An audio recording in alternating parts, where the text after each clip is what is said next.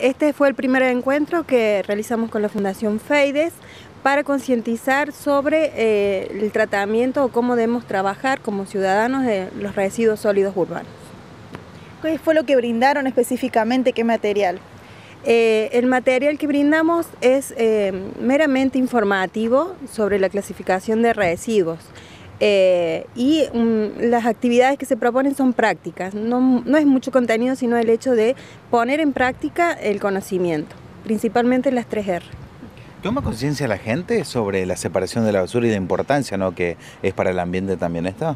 Eh, se ha visto que cuando uno propone desde diferentes ámbitos, eh, la gente responde. El tema es eh, cuánto estamos haciendo para que la gente realmente esté concientizada de todos estos temas ambientales y de la tomar conciencia justamente de la cantidad de basura o de residuos que generamos. Me parece que eso nos va a hacer concientizar aún más. Este, el tema este, como decía mi compañera, de, la clasificación de los residuos. ¿Van a continuar estos talleres? Sí, son en forma consecutiva y progresiva, así que la idea es hacer, realizarlos el tercer mes, el tercer sábado, perdón, de cada mes. Y bueno, esperamos a que la ciudadanía pueda estar respondiendo y se esté interesando justamente. ¿Público en general va destinado? Sí, público en general este, es tanto para los chicos, para los grandes, invitamos a toda la familia de Carlos Paz justamente para que participen.